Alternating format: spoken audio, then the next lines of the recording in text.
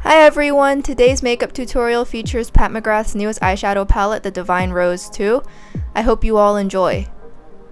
I really wanted to go for Pat McGrath's aesthetic with this whole makeup look, and the first thing that I noticed she does is she always has such a flawless base on her models, so I'm using this pore filling primer from Tatcha to smooth out my skin.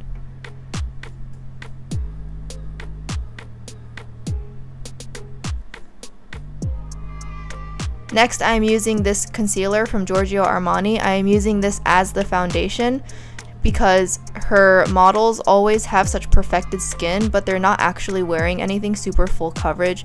So this concealer will help me go for that soft, perfected look. It is more matte than the Luminous Silk Concealer, so it especially will fit the aesthetic we're going for today.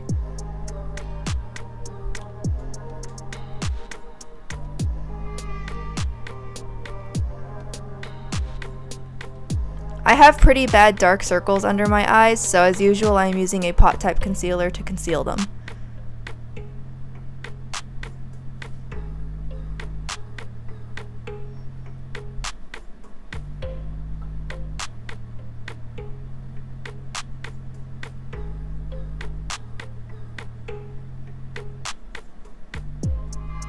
To really create that soft marshmallow finish, I am using this pressed powder pack from Eglips. I am first using the puff to just generously apply this powder all over my face.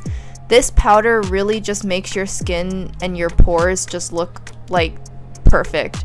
It makes your pores disappear and it leaves your skin looking extremely soft and velvety matte without actually drying your skin out. I'm going to be using eyeshadow as an eyebrow powder today to create a more softer but still defined eyebrow look.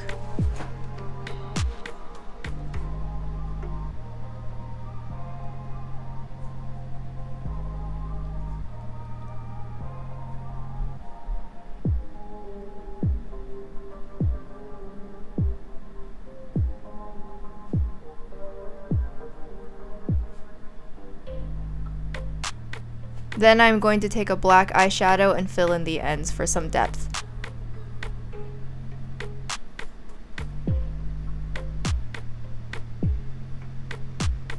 Next, to define the front of my eyebrows and to fill in bald patches, I am as usual using the Glossier Brow Flick.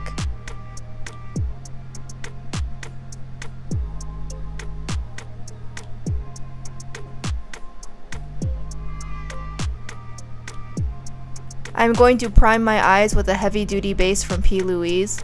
Because I'm going to be using the Trio-Chrome in the palette, I want to make sure it really shows up and at full intensity. So this eyeshadow primer does a great job of pre preparing my eyelids. Here's the palette. As you can see, it is really, really pretty. It's like a more intense version of the original Divine Rose. I am packing the Trio-Chrome all over my eyelids using a dense packing brush. That is one eyeshadow, but you can see the dramatic shift in it.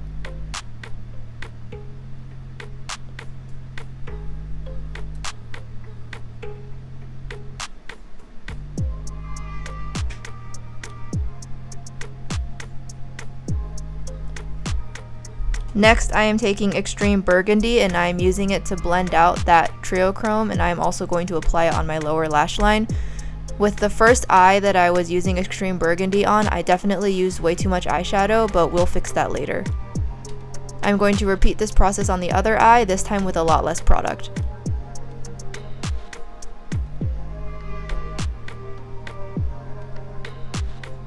I am using a finishing powder from Charlotte Tilbury.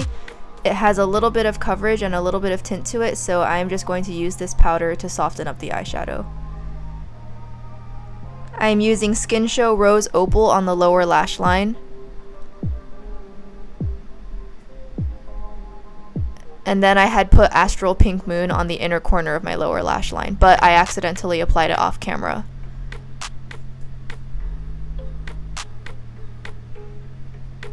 I'm applying some false lashes. I'm using a really, really long style today, but they're still pretty wispy, so it won't hide the eyeshadow.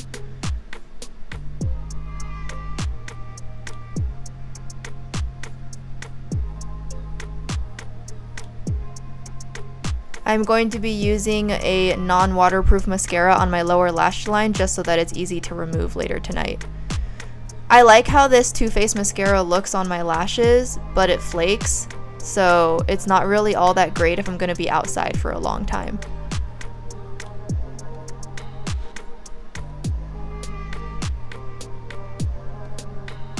The eyes are now complete.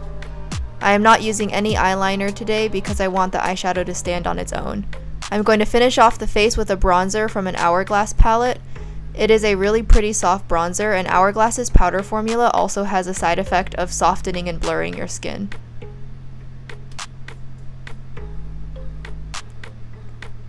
My camera just did not want to focus today.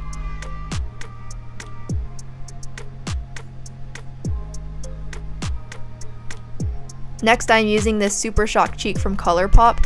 It also has a really soft matte formula to it and it's a really pretty pink color that will match well with the eye look.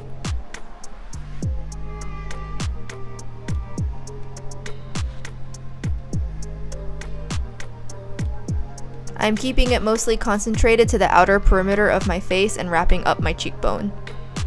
This will lift my face. Next, instead of using highlighter, I'm using this powder from Jaclyn Cosmetics. It is a really beautiful powder, but it's really hard to explain the effect that it gives. It is like a highlighter, but it's also like a finishing powder, and as you can see, it just gives the softest glow to the cheek. I had a cold sore that was still healing, so I am just using a tinted lip balm today. And then I'm going to top it off with a little bit of lip oil from Dior.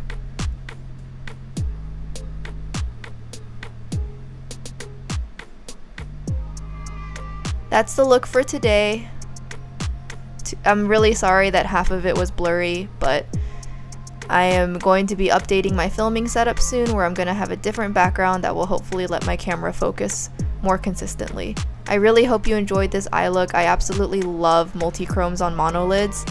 I recently just bought a bunch of eyeshadows from Clionadh Cosmetics and I look forward to making videos of them soon. Bye everyone!